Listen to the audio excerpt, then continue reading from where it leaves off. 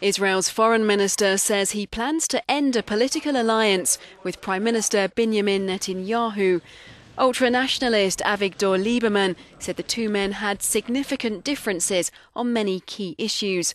However, he added his party would stay in the government coalition, meaning he keeps his job as foreign minister. It's not a secret, he said. Unfortunately, that differences between the Prime Minister and me have lately become substantial and fundamental.